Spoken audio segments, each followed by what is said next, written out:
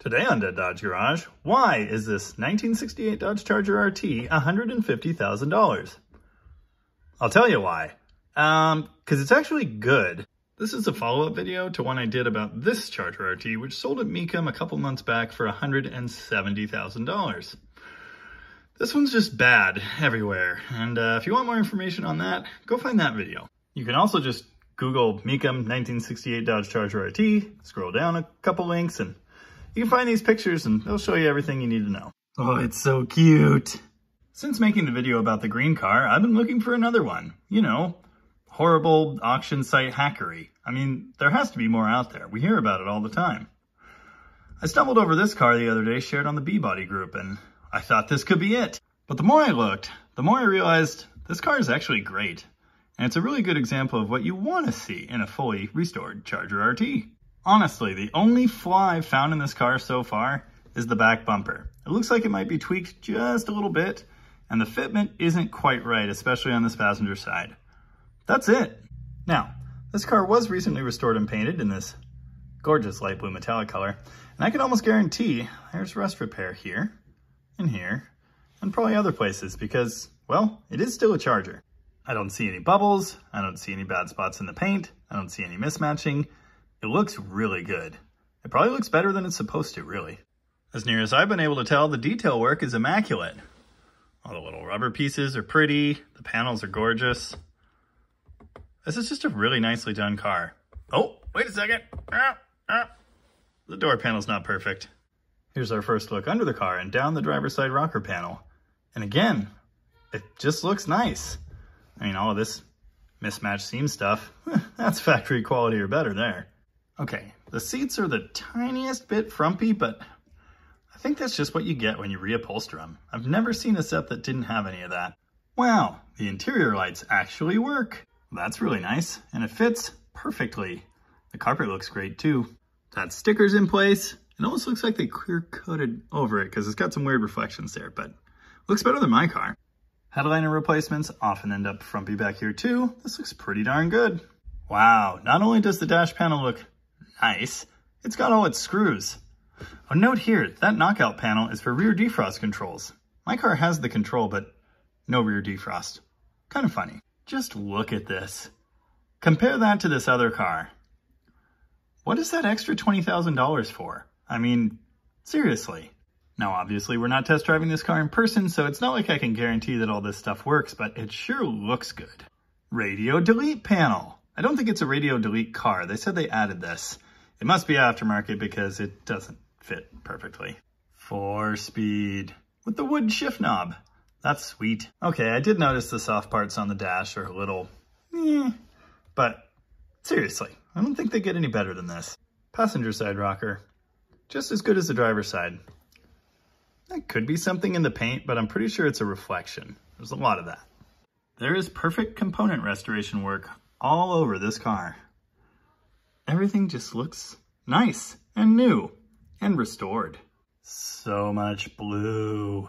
When you see something like a seat back that looks this good, that just seems like a sign of a job well done to me.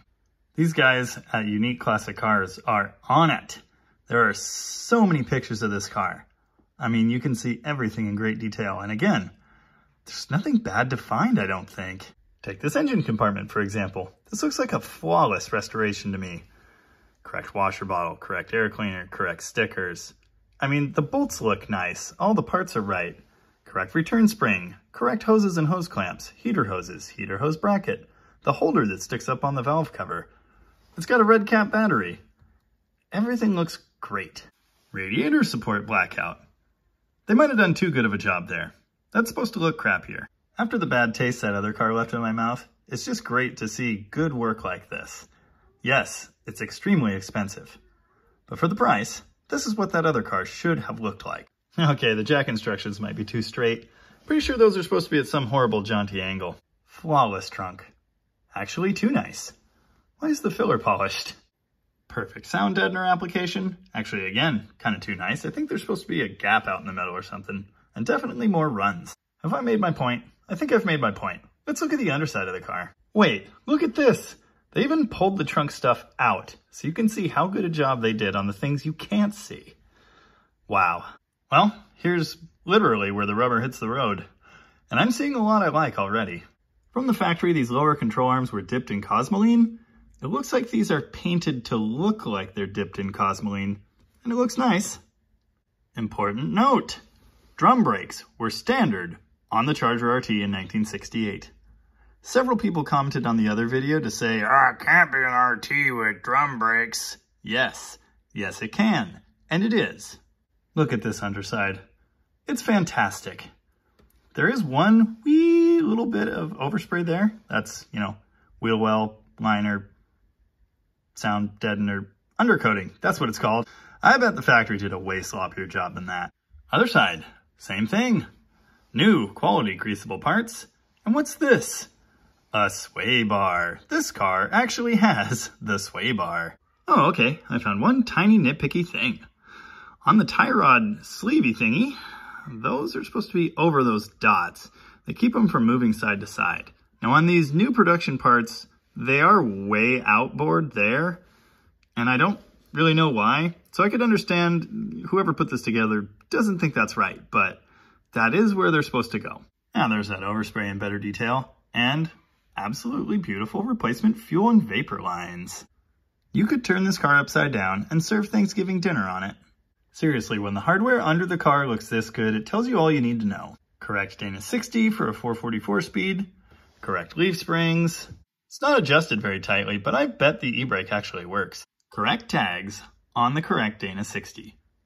I did notice the paint finish on the axle is a little, eh, I don't know what that's supposed to look like from the factory. Maybe that's correct.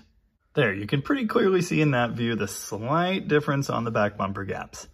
Again, not perfect, but I'm not going to worry about it. It wasn't perfect when it was new. Another nice view of the underside. Thinking this was rust pitted before it was painted. Eh. Look how nice the starter looks. You know what I don't see under this car?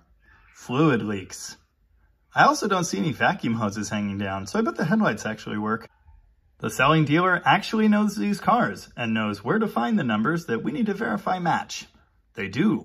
Okay, one other teeny tiny thing. The hood doesn't quite line up perfectly. Again, I don't think it did when it was new. And you can see here, just like every other one of these cars, the grille is not perfectly straight. It's plastic. It is what it is. This car is gorgeous. And if I ever meet the guy who did it, I think I'll give him a hug. There's a lot of great detail here. If you're curious what one of these cars is supposed to look like when it's been restored, check this thing out. Now, is it worth $150,000? I don't know. It's definitely worth more than that green one from Mecum, I'll tell you that. The restoration alone probably costs something approaching that, so maybe it is. If you've got the cash to go buy yourself a fully restored Charger RT, I think you should get this one, if you like the color. And even if you don't, but you might someday, I think you should look this car over. Then you'll know what they're supposed to look like. Hey, it's only $2,375 a month. That ain't bad. A lot of these restored Chargers are absolute turds, but I don't think this one is. I think it's pretty good.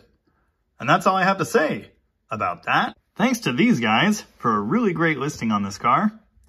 Thanks to whoever did such a good job on this thing. And thank you for watching. If you want to see more videos like this, feel free to subscribe. I'm on the hunt for auction cars and restored cars that are for sale, you know, for ridiculous amounts or whatever. Whether they're good or bad, I want to see them, so if you've got something you think I should check out or maybe do a video on, drop me a link at jamienoise at gmail.com or put it down in the comments. And remember, sometimes you get, and sometimes you get got. There's even a video. Oh, this is awesome. Muscle car fans in general, check this one out. It is a beauty.